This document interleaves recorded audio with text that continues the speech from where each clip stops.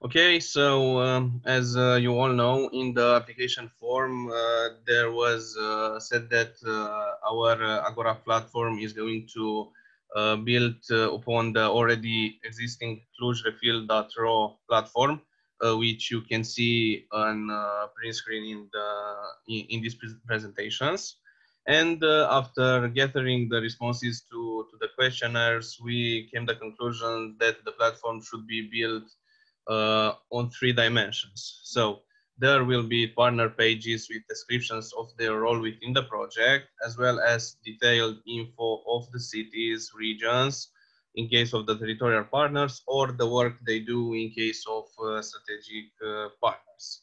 Um, the second menu would uh, be the most important one, actually, and uh, we uh, thought of calling it the Agora Showcase uh, this menu will be about all the work within the project and uh, it will be available for uh, reading, consulting and uh, downloading. So the, the final versions of the documents, of the videos, of the Agora walks, of the communications done during the, the project will be available there as well as linked to the social media accounts of the, of the project and it will have a built-in search bar for visitors to be able to uh, to get to it uh, quickly and uh, easy.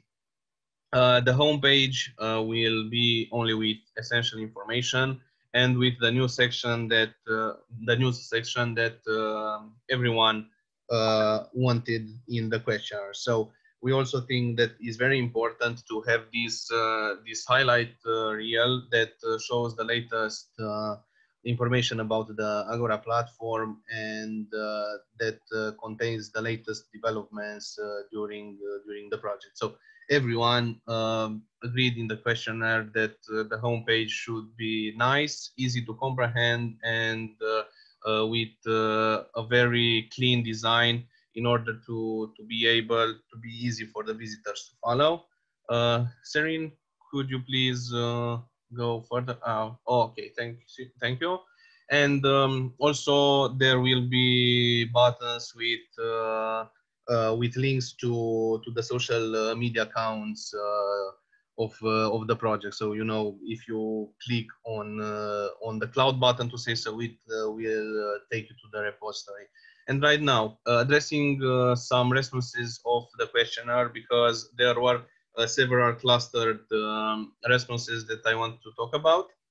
Uh, after initial discussions with uh, developers, uh, we are thinking that uh, a WordPress-based platform uh, will be able to meet all our needs, both regarding the design, so it would be nice and, and clear, and also the possibility to add multilingual content as many of the partner wanted uh, besides the English versions uh, of the content to be able to uh, to have the, the, content in their own language. But this this comes with a but. Um, this will mean that each partner will have an account on this platform and will be uh, responsible of uh, translating the content into their own language. It is not uh, hard to do and is functional. So after the platform is done, we will either have live tutorials or we will have um, uh, a document which explains exactly how content should be introduced into the uh, WordPress platform. As uh, I said, the main language used will be English and uh, the, the pages uh, in the respective languages will be duplicates of the original um, content page in English and they just have to, to, to be translated. Um, each partner should uh, have uh, an uh, account and will be able to introduce content on the platform, but we will talk about this later when the platform will have an initial form. And perhaps we will get from each one of you responsible that is going to, uh, to be taught uh, uh, how to, to use the platform and how to introduce content. Uh, Serene, can you go further, please? Thanks. Um, a chat option was suggested by multiple partners. However, um, this, from our point of view, is not uh, functional in uh, this moment uh, because um, it would mean that uh, someone either from us or uh, um, I'm thinking about uh, Jorge from the communication work package should be online most of the time in order to, to be able to um, respond to questions put in the in the chat. Uh, so in the initial phases of, uh, of the project, uh, we think this is just a nice to have option, but uh, let's see how the platform will roll out and uh, then we can decide if uh, a chat should be implemented or not. Um, about the repository on the platform. Uh, as I said um, earlier, the, the media and the documents um, will already be showcased on, uh, on, the, on the menu and uh, there is no need for all the internal documents to, to be there. So as a solution, we thought of uh, putting a button if we really want that goes to the to the cloud service the, uh, service that we are going to buy, uh, where all our internal documents, recordings, and so on uh, will be listed and available for partners. And um, uh, what um, I want uh, everyone to keep in mind because some of the partners responded to the questionnaire um, as we will be the main beneficiaries of it. Uh, we are not the main beneficiaries of it, uh, visitors should be. So uh, the platform should be built in such a way that visitors and uh, perhaps enterprises and other actors uh, should be av available to find the, the information uh, easy and to be interested in, in the work that has been done in Agora. So it should be functional for visitors, not for us partners, because we have all the meetings and uh, all the other uh, ways, um, and we are already familiar with the uh, the project. Another um, thing that was wanted by um, most of the partners actually um, was the suggestion of an endorsement page.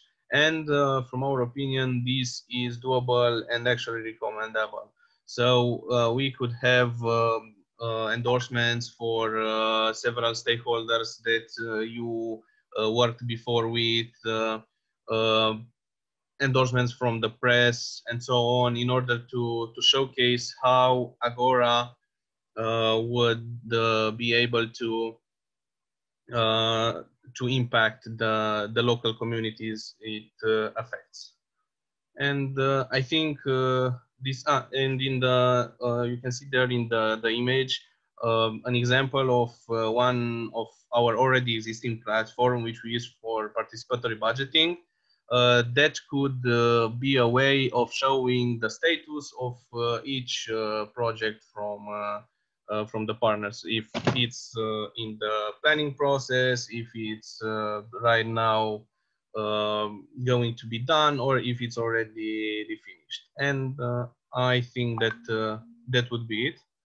I've seen that uh, Hannah asked uh, what level of traffic is uh, generated by the platform uh, currently. So um, we will take into consideration the the same server capacity and the uh, the same functionality as uh, some of our other platforms. So to be able uh, to hold 1,500 or perhaps 2,000 people people at the same time, because I really don't think, and perhaps the developers will also confirm as this that there will be more than 2000 uh, people at the same time on uh, the platform.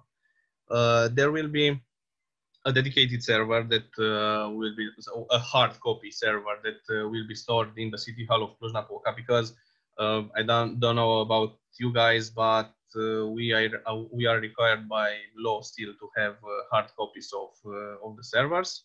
Uh, we can't just function on uh, on the clouds, and uh, I hope this this answers your your question. Other questions? if there are some.